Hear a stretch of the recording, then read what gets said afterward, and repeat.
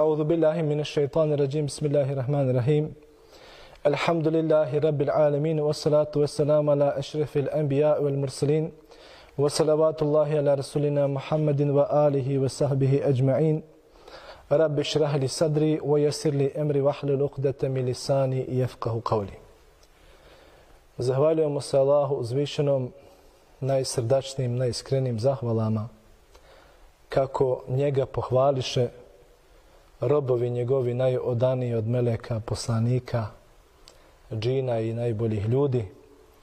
Učimo salavate i selame, te odabrane dove na poslanika Muhammeda sallallahu alaihi selleme na njegovu porodicu, na njegove ashabe, vjerne, koji na svojim vratovima i plećima izniješe teret Islama i pokazaše u najboljem mogućem svjetlu Allahovu Đelešanuhu vjeru. Govorit ćemo na temi razumijevanje islamskih propisa. Mi živimo u 21. vijeku kada nam je prijeko potrebno jedno esencijalno, duboko i suštinski razumijeti islamske propise, po njima živjeti kako bi nam život na ovome dunjaluku bio i tekako lakši. Bilježi se da veliki alim e, Sehel Etusteri u uvodu svoga tefsira daje jednu interesantnu konstataciju pa kaže da svaki kuranski ajet ima u sebi e, smisao e, zahira, batina, hadda i mutale. E, zahir je ono što se vanjskim tumačenjem hoće u ajetima reći. Batin je ono što se u unutrašnjem značenju kuranskim ajetima hoće reći. Had je granica koju ajeti određuju halala i harama, pohvaljenosti ili pokuđenosti. I mutale jeste osvijetljenost srca, da srce vjernika, srce alima, dosegne suštinu i intenciju kuranskih ajeta šta se sa njima u konačnici želi postići. Dakle, to je veoma važno da razumijemo kako bi se otrgli, oslobodili od vanjskih onih e, našminkanih, ali ipak površnih tumačenja e, šerijatskih propisa i izvora islama. Bilježi se da je Omer radijallahu anhu jedne prilike razgovarao sa Ibn Abbasom e, pa je rekao kako se može ovaj umet podijeliti kada imaju jednu kiblu i jednu vjeru. E, čuvši to, Ibn Abbas mu objašnjava, kaže ja i ti živimo u vremenu kada znamo zbog čega su se ajeti objavljivali, dakle znamo a, povode objava, esbab en nuzul, Dakle, u tefsirskoj nauci postoji jedan ogranak koji se bavi sa povodima objave, ali, kaže, posle nas će doći generacije koje neće znati zbog čega su se određeni ajeti objavili i tumačit će svako na svoj način i zbog toga će se razjediniti. Omeru radijallahu anhu je bilo teško to što mu Ibn Abbas rekao, pa ga je otjerao, naružio, maltene, zatim je ponovo razmišljao o njegovim riječima, pa ga je ponovo pozvao, pa mu je ponovo Ibn Abbas objasnio ono što je htio reći i Omer se zadivio e, njegovim dubokim suštinskim znanjem i razumijevanjem Kur'ana. Dakle, Kur'an je knjiga koja se treba čitati, proučavati, iščitavati, razumijeti, prihvatiti. Ima svoja pravila, ajeti imaju svoja pravila, dijele se na mekanske i medinske, dijele se na jasne i nejasne, na teške, na problematične za tumačenje koje zna samo a, ulema, dakle to nisu problematični ajeti da se ne shvatimo pogrešno sami po sebi, nego problematični za puki narod, to zna samo ulema, imaju ajeti koji govore o nasihu i mensuhu, dakle o derogaciji ili abrogaciji, kako kažu islamski učenjaci, dakle ajeti koji su bili jedno vrijeme na snazi pa su došli drugi koji su ih promijenili, to se zove derogacija, ili su došli drugi koji su ih nadopunili, to se zove abrogacija. Dakle, veoma je važno shvatiti tu intenciju kuranskih ajeta. Imamo drugi primjer kako se treba razumjeti Kur'an. Dakle, kada je u vladavini Ebu Bekra radijallahu anhu Omer kao osvajač vidio da mnogi e, muslimani nemajući Kur'an kao knjigu kojima arapski jezik nije maternji, izgovaraše Kur'an nepravilno kako bilježi Buharija, pa je došao Omer radijallahu anhu i rekao mu, dao mu izveštaj da muslimani nepravilno izgovaraju kuranske riječi. Im predložio mu je da se Kur'an sakupi u knjigu Ebu Bekr bogobojazan, iskren. Esidik kaže, bojim se da to nije neka novotarija, neka novina. Pa se Ebu Bekar konsultovao sa pisarima Božjega poslanika i razmišljao o tome i vidio je da je to korisno. Ubeđivao ga je Omer da je to korisno.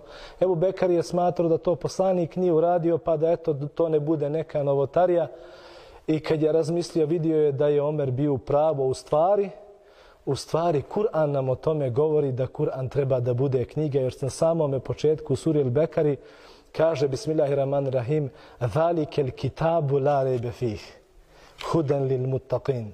Dakle, ovo je knjiga u kojoj nema nikakve sumnje uput, uputstvo je bogobojaznima. Dakle, Allah Đelešanu govori da to treba da bude knjiga.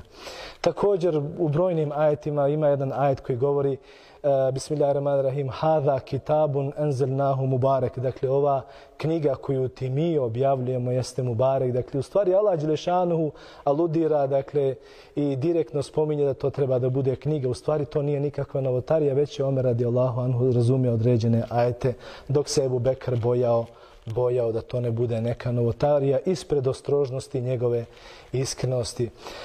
Veoma je interesantno da mi shvatimo dakle, te intencije koje su esencija šarijata, dakle kuranske ajete i hadisi i tako dalje.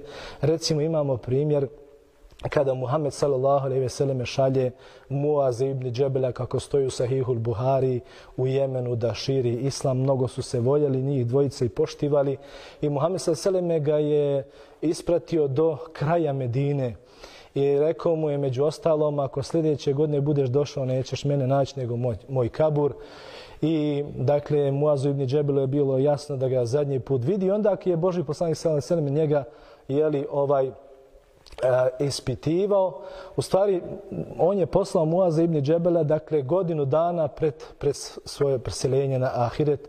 U stvari, već je većina propisa bila objavljena i dakle da je već skoro sve što se moglo naučiti iz Kur'ana i iz suneta Božjega poslanika Muaz ibn Džebel i kako absolvirao i absorbirao u svom znanju.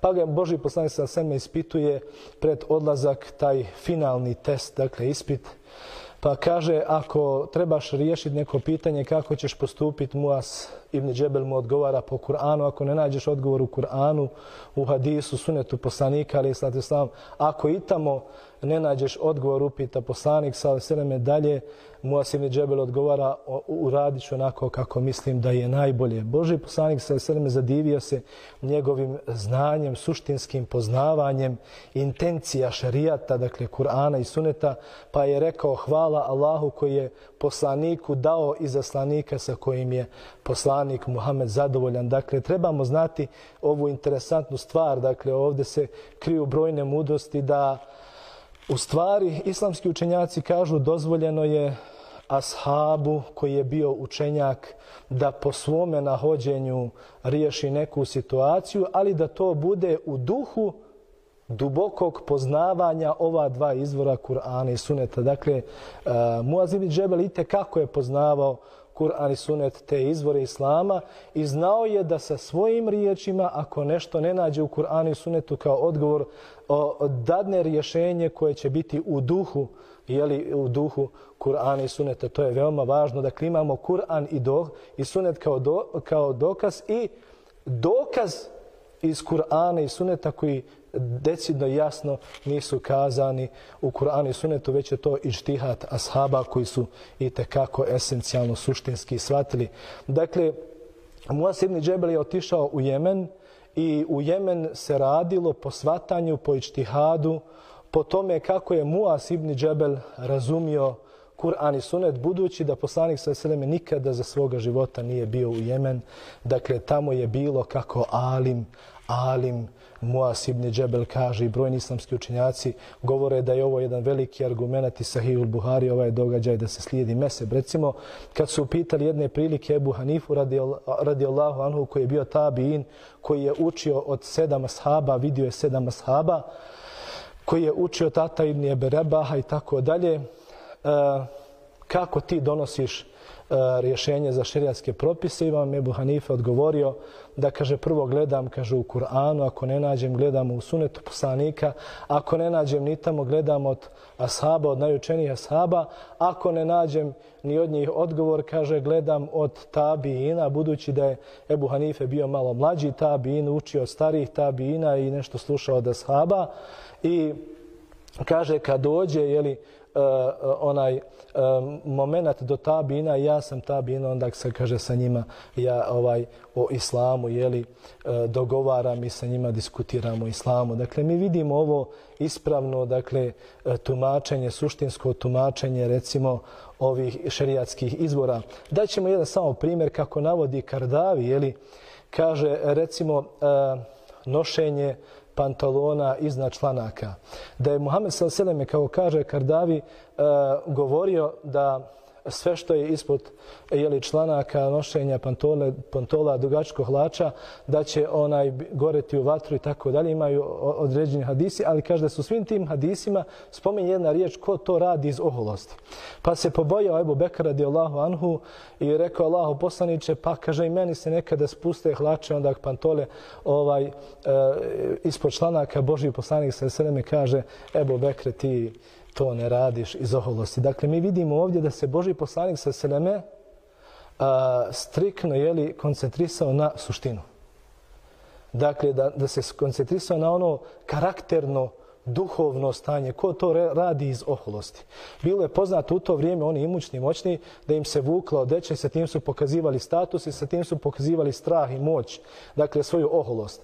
Dakle, Boži poslanik se nije okraničio na onu a, a, materijalnu tkaninu, na, na, na hlače ka, kao predmet, kao parče tkanine, nego se Boži poslanik se ne ovaj, a, osvrnuo na karakternu osobinu. Jer to u stvari je, oholost je jedna karakterna, pokuđena ili zabranjena osobina koja rezultira sa tim takvim nošenjem. Dakle, to je u stvari, kako navodi Karadavi, jeli, e, suštinsko razumijevanje tih islamskih ovaj propisa i dokaza. Molim uzvišenog Allaha Đelešanuhu da prosvijetli srca vjernika, da Allah subhanahu wa ta'ala dadne da mi puno studiramo dubinski, suštinski islam, kad to budemo tako shvatili, naša vanština će slijediti nas, našu suštinu, odnosno našu mudrost i esencijalnu, jeli onu pravu e, intenciju šarijata koju Allah Đelešanuhu zahteva od nas kako vidio smo iz ranijih generacija. Molim Allah Đelešanuhu da nas i našu djecu obaspe svim mudrostima ovih islamskih izvora. Amin. Ja rabbil alemin. Wassalamu alaikum wa rahmetullahi wa barakatuh.